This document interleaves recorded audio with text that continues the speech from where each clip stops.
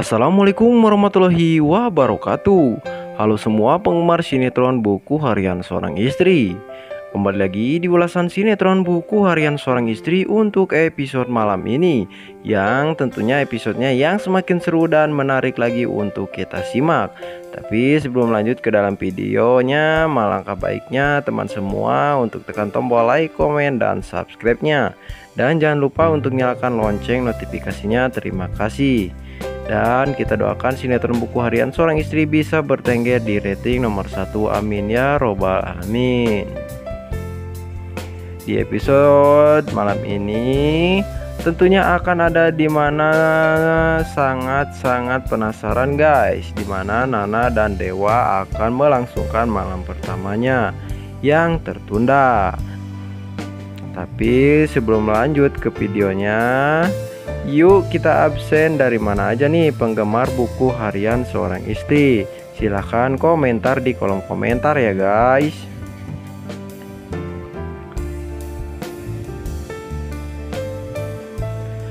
Sebelum kita melanjutkan untuk episode malam ini Yuk kita simak dulu episode sebelumnya Yang sudah saya duga bahwa di episode sebelumnya penuh dengan keromantisan Dewa, Buana, dan Nana di adegan pertama, keromantisan Nana dan Dewa terlihat di mana saat itu Dewa sedang beristirahat dan Nana pun menemani Dewa kala itu hingga Nana sampai mencium kening Dewa.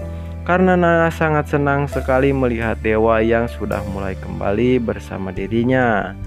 Nana pun akhirnya di situ ketiduran sambil memegang tangan Dewa di kursi lama kemudian Dewa pun terbangun dari tidurnya. Dan saat Dewa terbangun melihat Nana yang sedang tidur sambil memegang tangannya tersebut, Dewa pun langsung bangun dari tempat tidurnya dan dia pun mendekati Nana. Hingga Dewa mencium rambut Nana. Dewa pun sangat kangen dengan aroma wangi dari rambut Nana tersebut. So sweet banget ya guys. Melihat Dewa dan Nana, Terlihat juga saat itu Dewa langsung memangku Nana untuk akan segera dipindahkan ke tempat tidurnya. Tapi sayang, Nana malah terbangun. Di pangkuan Dewa, Nana pun sempat kaget dan berontak karena takut Mas Dewanya itu masih sangat lemah badannya. Dan akhirnya Dewa dan Nana pun malah terjatuh. Tapi Nana saat mereka terjatuh, Nana malah tersenyum dan memandangi Dewa. Dewa pun marah terhadap Nana, tapi Nana lagi-lagi marah tersenyum kepada Dewa. Kenapa kamu malah tersenyum? Kamu senang ya lihat suami kamu terjatuh seperti ini? Ujar Dewa sambil memarahi Nana. Nana pun malah berkata terus mas aku senang lihat kamu marah-marah begitu Aku sangat-sangat kangen lihat dimarahin kamu lagi Dewa pun berbicara dalam hatinya Kamu sangat gemes banget nak. Ini yang aku kangenin dari kamu. Dewa Buana gimana menurut kalian guys? Baper nggak tuh lihat keromantisan Dewa dan Nana? Kalau iya, kalau iya silahkan komentar di kolom komentar ya guys. Di adegan lain terlihat juga di situ Dewa saat itu lagi kelaparan Dan Nana pun berinisiatif untuk memasakkan masakan untuk Dewa yang Nana ingin ditemani oleh suaminya tercintanya itu saat nanti mau memasak. Karena Nana ingin berbicara tentang semua hal kepada Dewa, di dapur pun Dewa dan Nana masih saja bermesraan dan menunjukkan keromantisannya mereka berdua yang bikin baper yang nonton aja nih guys. Kelakuan Dewa dan anak-anak ini bikin yang nonton sangat-sangat begitu baper ya guys termasuk Mimin juga. Tak lama kemudian Dewa pun mengajak Nana untuk makan di luar sambil memandangi bintang-bintang. Di luar di situ pun Dewa dan Nana lagi-lagi menunjukkan keromantisannya, yaitu dengan cara saling suap-suapan. Setelah makan Nana dan Dewa, Dewa pun meminta agar bisa tidur di samping Nana. Di tempat tersebut sambil memandangi bintang-bintang. Saat Dewa mengutarakan rasa isi hatinya, Nana malah sempat-sempatnya malah tertidur, membuat Dewa sangat kesal. Padahal dia sedang menurunkan egonya. Dewa pun di situ langsung memangku Nana.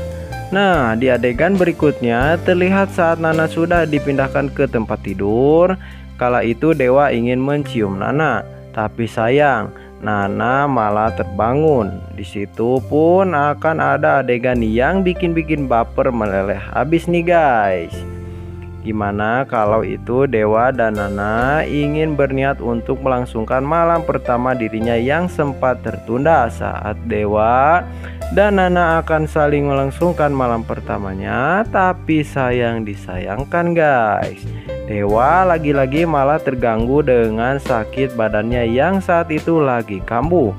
Lagi-lagi Dewa dan Nana gagal untuk malam pertamanya tuh guys.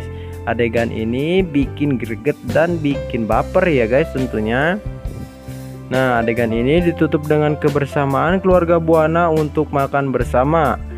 Neratu pun ingin mengajak Pasya karena Pasya lah yang sangat berjasa untuk menyelamatkan Dewa dan Nana Gimana guys? Malam tadi nampaknya penuh dengan keromantisan Nana dan Dewa bukan? Sangat-sangat baper tentunya ya guys. Yang bapernya kebanyakan tolong absen ya guys. Dari mana aja nih? Silahkan komentar di kolom komentar ya guys.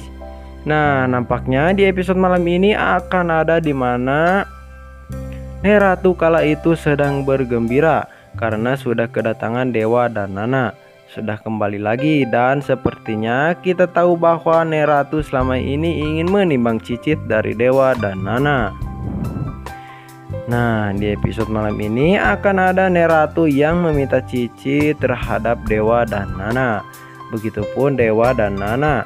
Karena selama ini Dewa dan Nana selalu gagal terus-menerus untuk melangsungkan malam pertamanya. Nampaknya di episode malam ini akan ada di mana anak Dewa dan Nana akan melangsungkan malam pertamanya tuh guys. Ini tentunya yang ditunggu-tunggu oleh para pemirsa penggemar sinetron buku harian seorang istri ya guys. Tentunya episode malam ini akan semakin seru lagi ya guys. Di mana akan ada Dewa dan Nana akan melangsungkan malam pertama yang sangat dinanti-nanti. Dan tak berharap semoga Nana bisa mendapatkan momongan dari Dewa dan bisa membuat mereka itu sangat-sangat bahagia. Tapi tentunya akan ada masalah yang lebih banyak lagi tentunya ya guys.